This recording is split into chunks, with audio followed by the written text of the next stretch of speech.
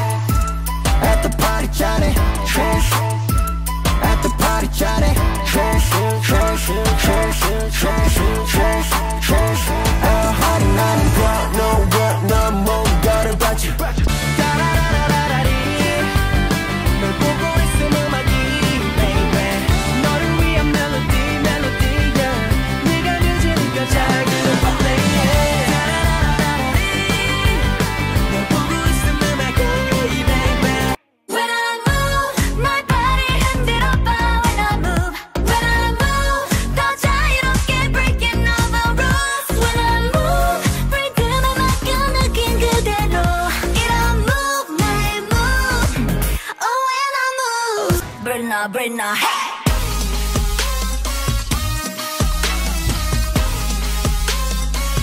Brenna, Brenna, hey! Like the first go, I'm to better I go. Tick, tick, tick, boom.